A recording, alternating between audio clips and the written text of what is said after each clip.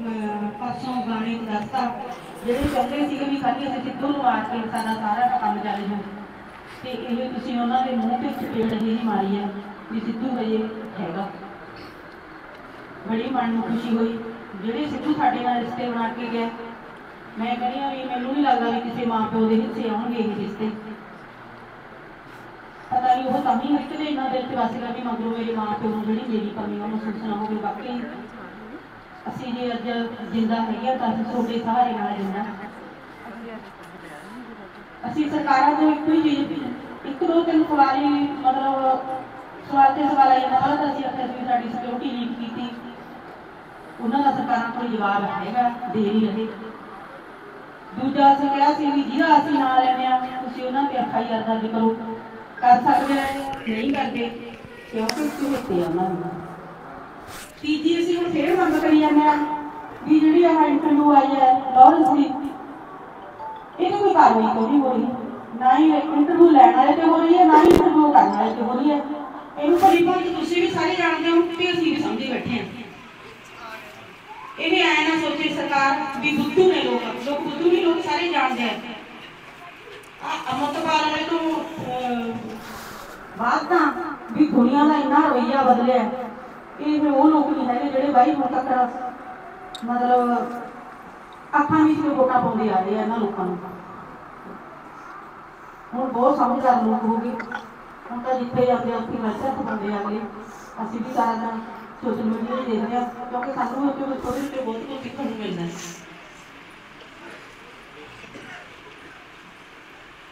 ਇਹਨਾਂ ਨੂੰ ਬ੍ਰੇਕ ਹੈ ਜੀ ਤੇ ਉਹ ਵੀ ਕੋਈ ਗੱਲ ਨਹੀਂ, ਮੈਨੂੰ ਲੱਗਦੀ ਹੈ ਵੀ ਦਿੱਤਾ ਜਾਣਾ ਹੈ ਸ਼ੁਭਦੀ ਵਿਧਾਇਕ ਨੱਬੀ ਨੂੰ ਸੀ ਜਿਹੜੇ ਇੰਨੇ ਤੁਹਾਡੇ ਵਰਗੇ ਸਾਰੇ ਭੈਣ ਭਰਾਵਾਂ ਦੇ ਦਿਲ 'ਚ ਬੈਠੇ ਤੁਸੀਂ ਕਿੱਥੋਂ ਕਿੱਥੋਂ ਚੱਲ ਕੇ ਆਪਦਾ ਕੀਮਤੀ ਸਮਾਂ ਕੱਢ ਛੱਡ ਕੇ ਆਪੋ ਆਪਣੇ ਕਾਰੋਬਾਰਾਂ 'ਚੋਂ ਮਸਾਂ ਇੰਨਾ ਟਾਈਮ ਕੱਢ ਕੇ ਤੁਸੀਂ ਏਡੀ ਦੂਰ ਆ ਕੇ ਆਉਣਾ ਤਾਂ ਇਹਦੇ ਵਿੱਚ ਕੋਈ ਹੈ? ਮੇਰੀ ਮਾਤਾ ਦੇ ਸਮਾਨ ਪਰਸੋਂ ਆਈ ਸੀ ਵਿਚਾਰੀ ਕੋਈ। ਕਹਿੰਦੀ ਵੀ ਮੈਂ ਪੁੱਤ ਖੰਡ ਪਾਠ ਕਰਵਾ ਕੇ ਇਹਨਾਂ ਨੂੰ ਹੁਕਮਨਾਮਾ ਲੈ ਕੇ ਆਈਆਂ ਤੇ ਮੈਂ ਸਰੂਪਾ ਲੈ ਕੇ ਆਈਆਂ। ਤੇ ਮੈਂ ਆਪਣੇ ਪੁੱਤ ਦੇ ਇਨਸਾਫ ਦੀ ਮੰਗ ਕਰ ਮੰਗ ਦੇ ਲਈ ਮੈਂ ਉੱਥੇ ਖੰਡ ਰੱਖਿਆ ਸੀ, ਹੁਣ ਮੈਂ ਅੜੀਸਰ ਸਾਹਿਬ ਕਰਵਾਉਣਾ ਇੱਕ ਮੈਂ ਤਾਂ ਕਿਤੇ ਦਾਊਗਾ ਸਾਹਿਬ ਕਰਵਾਉਣਾ ਜਿਹਦੇ ਨਾਲ ਇੰਨੀਆਂ ਦੁਆਵਾਂ ਨੇ, ਉਹ ਇਹਨਾਂ ਨੇ ਜੜਾਂ ਨਹੀਂ ਪਟਣਗੀਆਂ ਹੋ ਸਕਦਾ ਸਾਨੂੰ ਸਾਨੂੰ ਕਾਨੂੰਨ ਤੇ ਵਿਸ਼ਵਾਸ ਹੈ ਵੀ ਸਾਨੂੰ ਕਹਿੰਦੇ ਇਹ ਸਰਕਾਰਾਂ ਸਾਡੀ ਮਦਦ ਨਹੀਂ ਕਰਨਗੀਆਂ ਸਾਡੀਆਂ ਅਦਾਲਤਾਂ ਸਾਡੇ ਤੇ ਕਰਨਗੀਆਂ ਪਰ ਜੇ ਉੱਥੋਂ ਵੀ ਸਾਨੂੰ ਕੋਈ ਰਸਤਾ ਮਿਲੇਗਾ ਉਹ ਅਕਾਲ ਪੁਰਖ ਦੀ ਜਿਹੜੀ ਅਦਾਲਤ ਹੈ, ਉੱਥੋਂ ਹੀ ਛੁੱਟਣਗੇ ਨਹੀਂ। ਆਉਣ ਵਾਲੇ ਸਾਲ, ਦੋ ਸਾਲਾਂ ਦੇ ਵਿੱਚ ਤੁਹਾਨੂੰ ਸਾਰਿਆਂ ਨੂੰ ਪਤਾ ਲੱਗ ਜੂ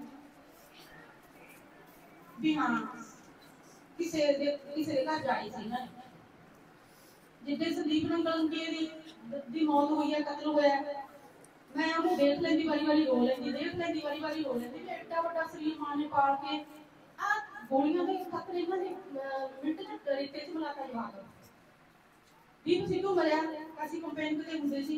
ਮੇਰੇ ਜਿੱਥੇ ਜੀ ਕਰਦਾ, ਜਿੱਥੇ ਮੈਂ ਕਿਤੇ ਮਾੜਾ ਜਿਹਾ ਫੋਨ ਖੋਲਦੀ ਦੀ ਫੋਟੋ ਆ ਜਾਂਦੀ, ਮੈਂ ਉੱਥੇ ਰੋ ਰੋ ਲੈਂਦੀ ਵੀ ਤੈਨੂੰ ਭਰਾਵਾ ਐਡੀ ਐਸ਼ੋਰਾਮ ਦੀ ਜ਼ਿੰਦਗੀ ਛੱਡ ਕੇ ਆਉਣ ਦਾ ਕੀ ਫਾਇਦਾ ਸੀ ਨਾ ਲੋਕਾਂ ਦਾ?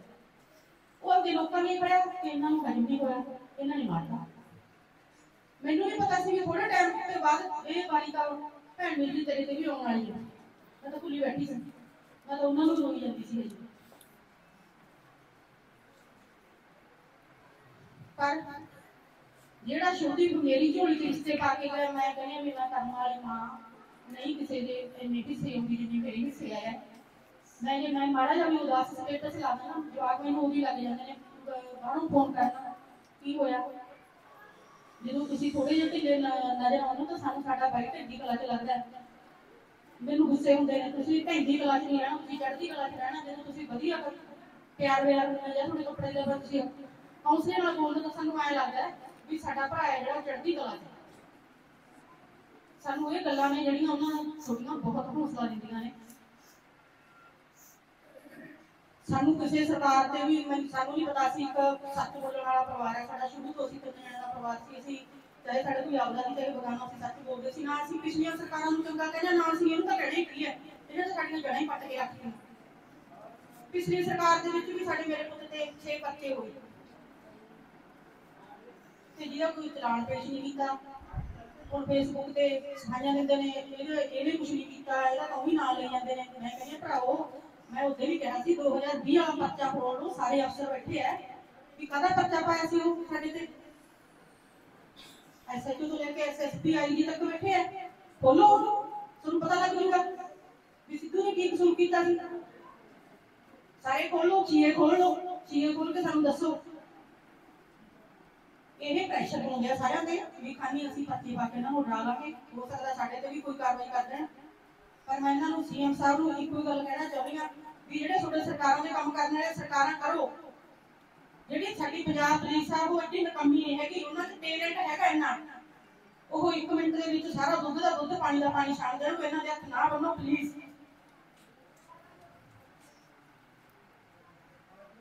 ਇਹਨਾਂ ਚ ਇੰਨੀ ਹੈ ਮੈਂ ਸ਼ੁਭਦੀਪ ਦੇ ਜਿਉਂਦੇ ਹੁੰਦੇ ਵੀ ਇਹਨਾਂ ਪੁਲਿਸ ਦੀਆਂ ਮਨ ਦੀ ਖੁਸ਼ੀ ਦੇਖੀ ਹੈ ਵੀ ਕਿਹੋ ਜੀ ਸੀ। ਉਹਦੇ ਜਾਣ ਤੋਂ ਬਾਅਦ ਇਹਨਾਂ ਦਾ ਦਰਦ ਵੀ ਦੇਖਿਆ ਮੈਂ ਕਿਹੋ ਜਿਹਾ। ਜ਼ਰੂਰ ਨੇ ਇਹ ਵੀ। ਕਿਉਂਕਿ ਇਹਨਾਂ ਦਾ ਜਿਵੇਂ ਸਰਕਾਰ ਕਹੂਗੀ ਵੀ ਐਂ ਕਰਨਾ, ਇਹਨਾਂ ਦਾ ਵਿਚਾਰਾਂ ਨੇ ਉਹ ਵੀ ਕਰਨਾ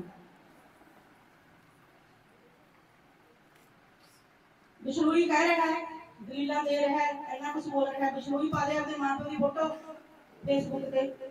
ਤੇ ਸਾਡੀ ਵੀ ਚੱਲਦੀ ਹੈ ਸਾਰਾ ਦਿਨ। ਦੇਖੀ ਫਿਰ ਮਾਂ ਦੇ ਪੁੱਤਾਂ ਤੇ ਤੇਰੇ ਮਾਂ ਪਿਓ ਨੂੰ ਕਿੰਨਾ ਕੁ ਸਵਾਦ ਦਿੰਦੇ ਆ ਲੋਕ। ਕੋਈ ਇਹੋ ਜਿਹੇ ਕੰਮ ਕਰਨ ਨਾਲ ਕੋਈ ਮਹਾਨ ਨਹੀਂ ਬਣਦਾ ਹੁੰਦਾ। ਨਾ ਇਹਨਾਂ ਦੇ ਪਿੱਛੇ ਲੱਗ ਕੇ ਤੁਸੀਂ ਆਪ ਆਪ ਸਮੇਂ ਇੱਕ ਦੂਜੇ ਦਾ ਕਤਲ ਕਰੀਏ ਨਾ ਵੀ ਇਹ ਰੱਬ ਦੀ ਦਿੱਤੀ ਹੋਈ ਜ਼ਿੰਦਗੀ ਹੈ, ਕਿਸੇ ਇਨਸਾਨ ਦੀ ਦਿੱਤੀ ਹੋਈ ਨਹੀਂ ਪਲੀਜ਼ ਇਹ ਕੰਮ ਬੰਦ ਕਰ ਦਿਓ। ਗੱਲਾਂ ਹੋਰ ਬਹੁਤ ਨੇ। ਬਲਬਲੇ ਉੱਠਦੇ ਆ, ਹਫਤਾ ਬਸ ਇਹੀ ਸੋਚੀ ਜਾਂਦੇ ਰਹਿੰਦੇ ਵੀ ਕੀ ਕਰੀਏ, ਰਾਤ ਨੂੰ ਨੀਂਦ ਨਹੀਂ ਆਉਂਦੀ।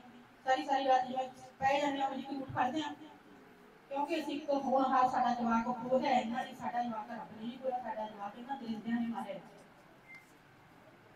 ਸਾਡੀਆਂ ਬਦਦੁਆਵਾਂ ਤੇ ਜਿਹੜੀ ਮਾਤਾ ਵਰਗੀਆਂ ਖਟਪਟ ਸਾਹਿਬ ਕਰਵਾ ਕਰਵਾ ਕੇ ਆਉਂਦੀਆਂ ਨੇ ਤੇ ਉਹਨਾਂ ਦੀਆਂ ਬਦਦੁਆਵਾਂ ਕਦੇ ਖਾਲੀ ਨਹੀਂ ਜਾਣਗੀਆਂ ਆਉਣ ਵਾਲੇ ਸਾਲ ਦੋ ਸਾਲਾਂ ਦੇ ਵਿੱਚ। ਜਿਵੇਂ ਜਿਹਨੇ ਇਹ ਘਿਨਾਉਣਾ ਕੰਮ ਕੀਤਾ ਤੇ ਉਹਨਾਂ ਦਾ ਤੁਸੀਂ ਹਾਲ ਦੇਖਿਓ।